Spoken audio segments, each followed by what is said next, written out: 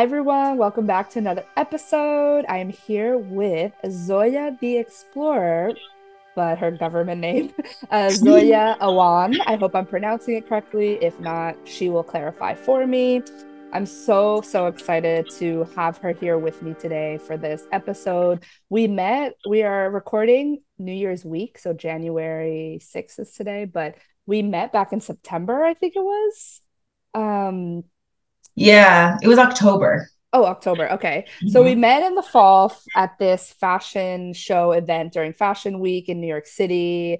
And we just like vibed so quickly because I'm Deli the Explorer on Instagram and she's Zoya the Explorer. Follow and we me. were like, follow her on Instagram.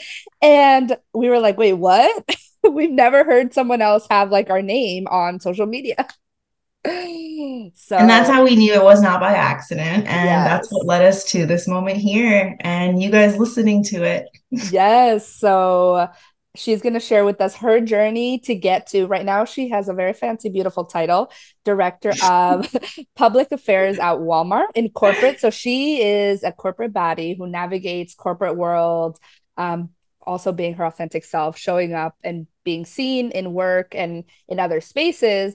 But before she got there, she had to do some things, right? Maybe go to college, uh, figure out and navigate her journey. So she's going to share with us her journey, what she's been through, um, and talk through her experiences and also some travel because she also did some study abroad. And if you're new to the podcast, I've done study abroad. I went to Spain and Australia and did my Fulbright in Brazil. So I love to travel. We love to travel. That's going to be. How many countries have you been to? Oh, I don't know the exact number. I should know this. Um, I can if you want to, it's I can figure it out list. really quick. Let's see. I've been to Paraguay, Argentina, Brazil, studied in Spain, lived in Australia, went to France, Scotland, Ireland. Uh, I feel like I'm missing a couple. I'll say eight for now, but I probably like 10. That's amazing. Do you yeah, know off the top I, of the head? Yeah. So I have been now I feel kind of weird because I don't want to like brag, you but it's brag. powerful because I went to 30, I've been to 38 countries. Oh my God, that's amazing. Um, so back when I studied abroad, I studied abroad in Cairo. Uh, I went to school in, in DC at American University and I studied abroad in Cairo because at the time, you know, my mom and I talked about it and she was like, well, go for something different. And, mm. I, you know, I was like, I went there and it was really, really a magical experience. But at that point, I like got the travel bug and I was like, I want to go to 30 countries before I turn 30. I so that. then uh, that kind of just had become my thing. And I just would travel around. But and to be fair, you know, there's a like some parts of Europe you can kind of check a lot of countries off real fast. yeah. Oh yeah, I forgot the UK yeah, there we go. And you know, some of them it's like, uh, can we count Northern Ireland and the UK separately? Yeah. Probably not, but I'm gonna for now. Oh, I did, I did. I did it separately. Um, yeah, and then more recently, so thankfully when i hit that goal and covid happened a little while ago like right so luckily i was getting very i had already kind of hit that goal and i've just been really really lucky in my experience to just travel a lot and that's something yeah we connected on that exploring yeah. has stuck with me and so my study abroad experience was what really i would say lit that fire for me mm. yes so i have my little mug here for our coffee chat it says me too adventures begin. So cheers. Amazing. Cheers. My little sister gave me this one and it has us three sisters. So honoring the sisters in the world. I love that. This is a sisterhood for sure. Yeah. I love that so much. And starting a new adventure in the new year. We are in 2023 already. so setting the intention to kind of build community, sisterhood, really amplify and um, if you're new in the in these podcast streets, um, we what my goal is to provide is a platform for individuals to showcase their story and see representation, right? Because we were talking a little bit about this about corporate in the typical person that is promoted may not look like us even though we're we're in these spaces trying to really push these boundaries so part of this podcast is really important for me to show this representation like oh, Zoya can do this, I can do this. Or the can do this, that means I can do it too. Because we've navigated these experiences and we're showing it. We're out here, we're doing the thing. Exactly. Exactly. And sometimes I'm like, I don't know what I'm doing. And I don't know how I got here, but I did. And you're going to get there too. And that's the point. Not like, and it's just like along the way, being able to support, have conversations, and kind of not also need to reinvent the wheel on how we do these things, right? And figure right. out what are the trick, like tips and tricks that we can share with each other so that I would love to, for it to be these kinds of conversations to just be normal. Right. Absolutely. Do you think um, going to DC was part of um, your networking experience to like pr- support you for your next step post graduation? Um, yeah. So to walk you through my journey a little bit, you know, I went to school in DC undergrad from Long Island, New York, with really this desire to realize that like Washington, DC was the nation's capital. I had a lot of interest in a lot of like doing various interfaith work and things throughout high school and had done stuff at the UN and was very eager about like how you bring people together in dialogue and for to just make change that's positive.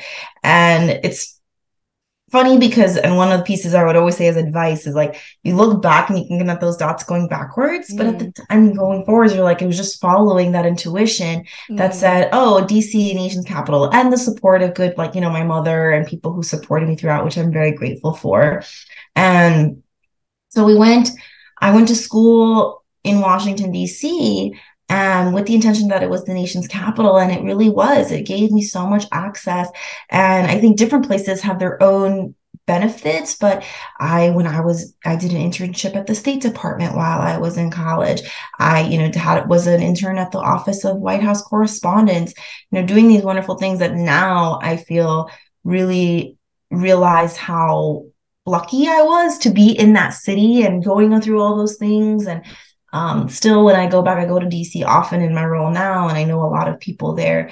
And exactly the building of the network of people who then kind of continued to unravel my journey towards where I am now at Walmart.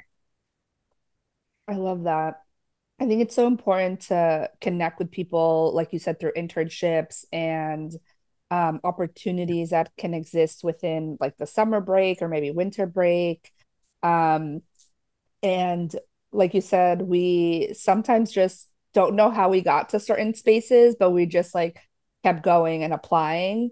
So do you think um, students should just like apply and just see what happens? Um, how do you navigate that kind of initial like imposter syndrome maybe that we feel when we're like, oh my God, the state capital? How do how am I gonna apply like first gen Latina student? Like my parents don't have experience with the state capital. How do how do I apply to that, you know? Yeah, or how do I do it? And you know, I would say that just be open and do it if you can and if your time permits and your I feel like a lot of these things where there's certain gut intuitions things will come your way. And if that's something that interests you don't be afraid to try it or be open to it. I recently and this is something i still am feeling right imposter syndrome to and realizing that that's going to kind of be part of it until you know because there was this i'm like how did i get into these rooms? Do i do i belong here? Mm. and of course we belong and you've always belonged but it's just kind of knowing that that's part of it and experimenting. I think sometimes with our families if they don't have the understanding of those things the good thing is when I was in college, I did really utilize my career center advisors. And again, it was like with them, and again, me showing up with them as well, but guiding me, being willing to try certain different things. And um, and then also, I mean, you will apply to a lot of things and there'll be some things you'll get and some things you won't. And it's that trust now i can say this to myself. Mm. i couldn't say this then right? Right. But back then it was like oh, this is not good. But so just trusting that like you got this and the right thing that's going to be for you cannot pass you. And i have been so lucky because when i look at some of the journey and i'm sure yours too you connect the dots so going backwards and you're like how wow i went from dc then i moved to arkansas because my job after my mba so i did my my school my mba at georgetown part-time while i was working which I don't know if I would recommend that because it was a lot of work. you know, that was the journey I was supposed to have. And I had right. people who supported me along the way. I did it. There's so oh, so many things that were so impossible. I've already done it. And it was at the time you just have to just it's always impossible until it's done. Right. And how was living in Arkansas? That was a good experience, honestly, and better than I thought it was. In okay. that, like, I will always, I still work there. I still feel connected to that area. And it was honestly this role at Walmart allowed me to learn about the US in a way I hadn't. So I've explored a lot around um, America, uh, excuse me, globally, but in the US, I had not. So, this role, and in my role, I work with tribal communities. So, I have been able to travel around Indian country, which was really fascinating because I got to get a more in depth understanding of this community that is basically just untalked about in the US. I was like, how did I go to school like an hour away from a reservation and I know about it, right? And like right. these things and how we can have these conversations. So that was really fun. And and then again in Arkansas, part of it was just this proving to myself that you if I commit to anything, I can do it. So, you know, I moved to this place not knowing anybody.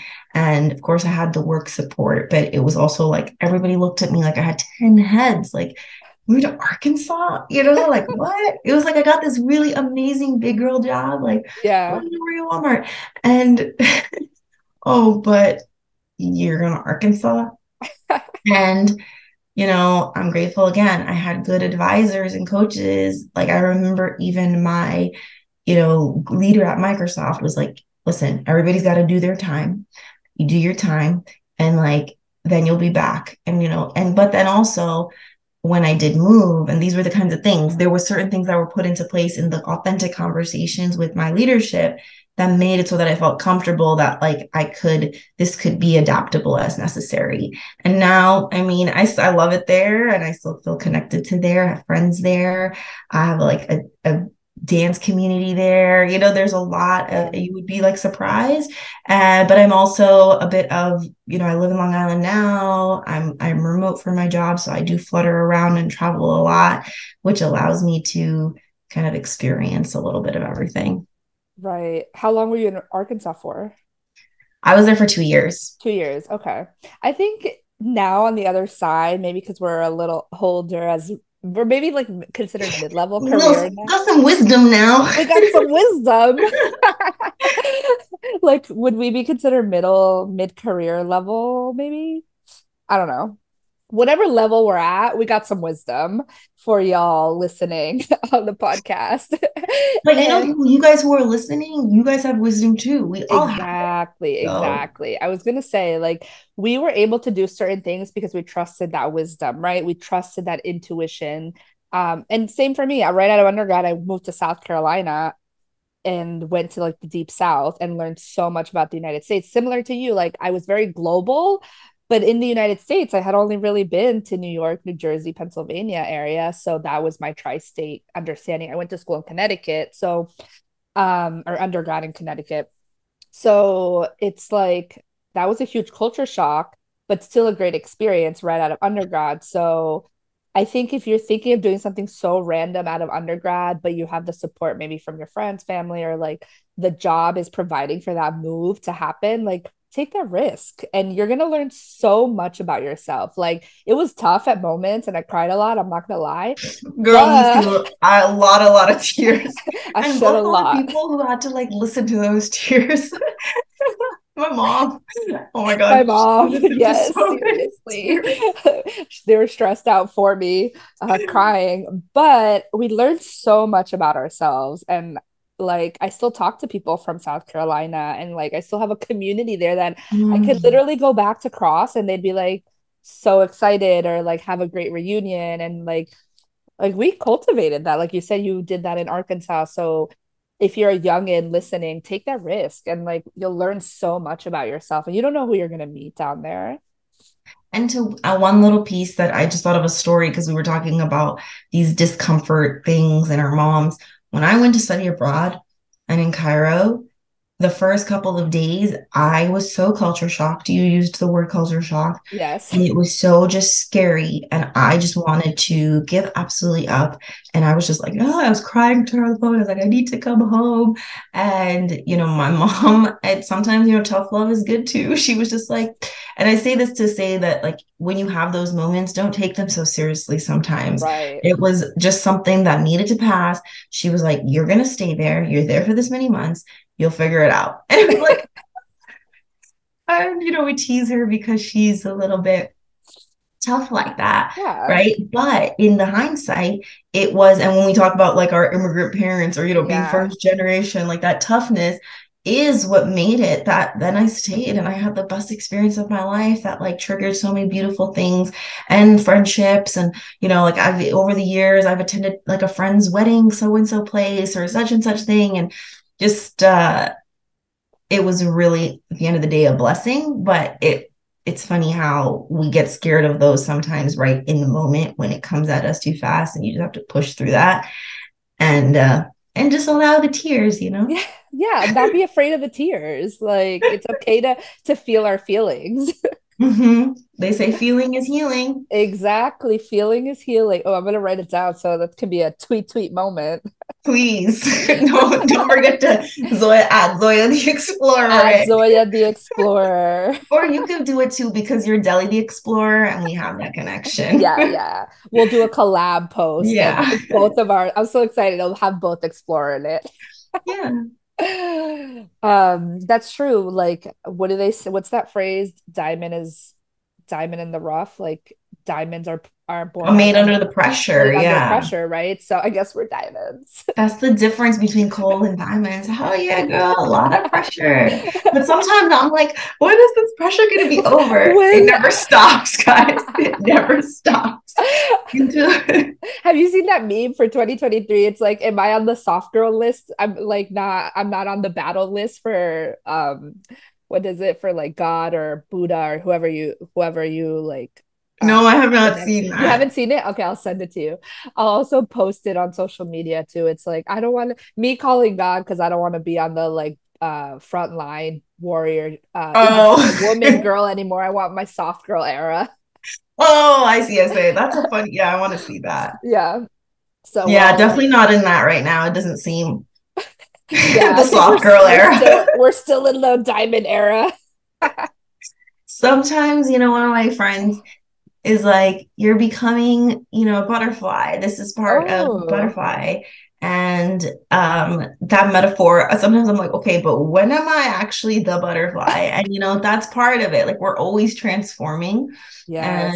and just know that every win is worth celebrating. So for those of you who you know have applied to colleges and you know didn't know when you were going to get into college and where you went, celebrate that you're in college like you dreamed dreamt of that one day and you made it. And you can continue on however you do, but knowing that it's just part of trusting that it's all happening. Exactly. You have to celebrate all the wins. Like even even like researching something you're interested in, I think is a win. Because sometimes we even mm-hmm. get so scared to like look at the application or a deadline or look at a job and like we psych ourselves out even before looking. Um, so just like celebrating the fact that you're maybe like emailing someone to talk about something, um, about a role or an opportunity, or if something seems interesting, um, like celebrate that. And I think that's something we constantly have to remind ourselves to like celebrate the wins, celebrate the things. Like even showing up to that like fashion event, like we both went alone, right? And we were both like, "Wait, you came alone? You came alone? Wow, we have some like um, I guess I go alone a lot of places and it's a really great experience. And uh, like a lot of magic happens when you're alone. yeah. Like we met each other and we're having this and uh, a lot I've do you do a lot of solo travel or what do you do usually? I haven't done a lot of solo. The the only solo travel I did was when I moved to Brazil, like on a Fulbright. That was probably the longest extended abroad thing I did alone, which was the experience. It was nine months, nine, ten months uh, living in Brazil. Even though we had a lot of support and structure, Wow. like I was still there amazing that you alone. so I think that's the biggest long-term alone thing I've done, but every other travel was with like friends or family. Yeah, Um, and me, and I've done both. I don't do a ton of solo, but it just like my because of my work and things, I'm often like fluttering between things, sometimes yeah, alone. I've done some trips alone when, you know, I say like if there's an opportunity and I couldn't find someone else or depend or sometimes a window in between or something. But just kind of being willing to realize that there's nothing wrong with going to an event that sounds interesting to you, but you don't have anyone to go with. Because a lot of times when I go with someone, I end up being just stuck to that person. And mhm, then the point of meeting new people, creating new, sparking new connections, and gets kind of goes beyond, goes secondary, I guess you could say, right? right. And this was that was like our goal, right? And then I did end up making some really dear friends from that event and also just really experienced some interesting projects, more connections. It was great. Yeah, I I loved like and apart from going to like events alone, do you maybe go out to dinner, take yourself on a date? Do you go but like I think global travel alone is a little bit more accessible. Like you can see someone doing that alone, but like day-to-day things, like do you take yourself on dates to go to a museum by yourself or like go out to dinner or lunch or like coffee dates and just like sit in at a bar by yourself? Like have you done that? I've done that before a lot. I do it all the time, but it's like I guess I just don't have the intention, like, oh, I'm taking myself out on a date. And then Yeah, yeah, sometimes yeah. I've been there and then I'll be like, okay. But I often I have no, I have a lot of meals alone because I travel a lot for work, Right, right? right, So right. sometimes it's just like, okay, I go hop into the restaurant, whatever it is, chit chat. I do eat that alone. Out. I haven't gone to a movie alone recently, but I don't even watch that many movies. So if I did, I, I wouldn't. I wouldn't mind. but the example basically, and recently, sometimes if I haven't had a day alone in a long time, because I'm I'm alone, but I'm also constantly around a lot of people. So it's kind of like I do appreciate when I can be in my own space and energy and just kind of flowing through um and doing whatever it is in my mind and not feeling like because when I'm doing something with someone else, I really am always conscious. It's just good of that other person and what it is that they their needs are to make sure they're okay, all of that. And when I'm alone, it just makes it that I can kind of just just flow with however I want Yeah. And like just kind of go with the magic of who you're meeting and what's happening and just like Exactly. Figure it out along the way. Go with the magic. Go with the magic, follow the magic. That'll that could be our 2023 like vision. I'll write it down. We have a lot of good ones. We have a Go lot with the of magic and feeling is healing. yes. Um, I love that. I know you mentioned earlier about immigrant families and first generation um, experiences. Would you identify as first gen? I know some people have different thoughts on what that definition looks like. And if you do, what does that look like for you? And if you don't, that's okay too. Yeah, so that's an interesting question because there are different ways that I guess people look at it. I was the first generation born here, so yes. My mother, and my side, my family story, my grandfather on my maternal side is the one who immigrated here. And he came, you know, American dream. That's a whole nother story, which I really honor and admire him. Um, who passed away a few years ago, but really recognizing how then, you know, my mom was actually raised here. So she did go to school and everything here. Um, she's a pharmacist and has kind of instilled that value set in us. So I've had some a bit like, you know, I feel like some first generation experiences are where parents have no sense of kind of understanding of the systems, etc. In my case, my mom did, but of course, those things are continuing always to evolve. Evolve, yeah. And I realized that, like, so my family's from Pakistan, and even in the Pakistani community, even in the Latino community, this is in all communities, there's still so many um, there's such a gap between that for that generational the people that whose parents were born there and are growing up here or born here versus growing up etc and just um recognizing that but also saying realizing that like we have a great resource in each other. So trying to kind of continue to uplift our inner voices and then i just i feel like in my experience I was lucky because I just trusted those little pieces of pushing. But the first generation stuff is always unique to navigate. Yeah, absolutely. I think How was it for you? For me, my parents immigrated here. So I'm also first generation born here. My parents were born in Paraguay. Um, they navigated education system in Paraguay, but not here. So that was like applied to college and navigating that was new for our family. But even now for myself and my like the older cousins and then my younger cousins, it's it's very different now the experience even with like a 10 year like even though I'm first gen and I went to school here and they're going to school now in undergrad it was still a very different application experience for them. And then they also experienced COVID in undergrad, which is totally mm-hmm. new for everyone. So I think even though your mom navigated school in the United States, you're still first gen because it changes like the application cycle every 10 years like, oh yeah absolutely so and you know like it's funny because in my siblings there's four of us mm-hmm. and we're a little bit age gap between all of us. And my mom like she like each time of the process it was different you know and it or it's slightly different there's still pieces you know the sat changed right. or you need the act or you need the sat and like right. for example like my younger siblings sometimes they would come to me us but sometimes not because it was like also in our own ways the systems were sort of changing on what we had to be doing right. but on how but just trusting on the school systems and the advisors and and getting there is really helpful as well for sure. Yeah. And even as an a- academic advisor now the work i do like in my day job it changes every year what i need to advise students on. The the the like overarching journey story doesn't change but what changes are like the logistics of it right? Like the common app versus there's a new application system out now. I forget the name but um what was it called? Common App and I don't remember, but or like some schools are SAT, ACT optional, and like I remember the um, Common App. I'm getting PTSD right now. like even the financial aid process is so so different. Like I remember I had to like scan and fax and email documents. Now everything's online and the questions are different. And it's just like, even from me helping and supporting students or my cousins, it's like it's we're still first gen like we're still going through this experience. I may i may be able to offer advice and support and academic advising but it's still like a learning curve. For sure. And you know i think to be in fairness it's typically it's a learning curve for anybody. And then i think it gets even more steepened when you're coming from you know navigating different identities and family yes. structures and cultures. And um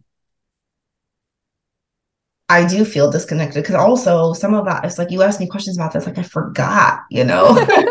you like, we what? blocked it out. yeah, you're not every day, right? Which is yeah, great. Yeah. That's yeah. why you're keeping up to date, and I think that that's wonderful because at least you're able to provide some advice on some of the specifics, right? But if you were to ask me specifics, I wouldn't really know. yeah, it's it does change all the time. So we're all we're all just learning along the way. I hope that absolutely. I, I, hope these conversations provide that kind of ease and like, okay, we're all navigating, we're all figuring it out. It's okay to be where you're at and trying to navigate wherever you're at and not put like maybe so much pressure on ourselves. Um, but that also comes with like the immigrant experience, right? We we want to prove that we like our parents immigrated and it was worth it and what their sacrifice was um, so processing intergenerational trauma. out of us. Um, of us. yes, but no, absolutely. And like the point is, is that I think there are some things that, like we kind of alluded to earlier, there's some things from the immigrant family mindset that are really precious. And I feel like we can continue to bring that forth and honor those pieces of, you know, the hard work ethic and things. But there's a lot of things that are imbalanced and distorted for different reasons because that was what their like that situation needed, right? Yeah. But now we're lucky. Like we have a lot more resources at our fingertips. We can, you know, do things in faster ways or find more innovative ways to do things. You know, I think about my grandma and when I was working from home at I was doing some remote work at her house. You know, when my grandfather used to go to work, it was like he left at this time of the day and he came back at this time of the day. And then the rest of the day was time with her. and then like she'd be like, oh, I, I, was like in the basement working. She was like, oh, you're on a call? Or who are you doing for work? You know, it was very confusing for her because these things are so different now. So, you know, when and with that, I'm sure like everybody can kind of relate to some bits in that. And um we have a great opportunity to kind of redefine mm-hmm. what it means to be these first generation children of immigrants, people of color who are just really excited about enjoying our lives and honoring our families. Absolutely. I love that redefining what it looks like to work, right? How do you explain remote work to your parents or your grandparents who have this idea that you left at, at whatever 8 a.m. and got back at 6 p.m. and then you're just home um, and navigating. Or even if it's just like redefining yourself, right? And right. that like okayness of there will be certain ambiguities, certain things are sort of shifting and changing, but it's like how you choose to work, how you choose to engage and brand yourself. And now in the age of social media and all that, you know, me and you were talking about that a little bit. I think there's a great opportunity to empower through that as well. And um, just making sure we're trying to use our tools and resources and dreaming really big. Yeah. Because like do you think that your parent Delicia could have ever imagined you are where you are now when they were coming here, you know? Yeah. I ask that question all the time. I'm like, did you think you would come to the United States? And they're like, I mean, we thought about it, but we didn't really think it would happen. yeah, like wow. Like nothing we do is compared to what they've probably done, you know? I know every time I get scared or like nervous about something, I'm like, wait, they immigrated here without knowing English and they got jobs and they bought houses and they bought cars. Mm. And we're like scared of studying abroad, but I know the language. Yeah. so I like try to reframe my mindset too. It's like, wow, we have, like you said earlier, we have so much wisdom that we just need to tap into. Mm-hmm. Like, and that's a big thing too. Like, we like just keeping reframing your mindset. Yeah. I feel like back to if I think about advice of myself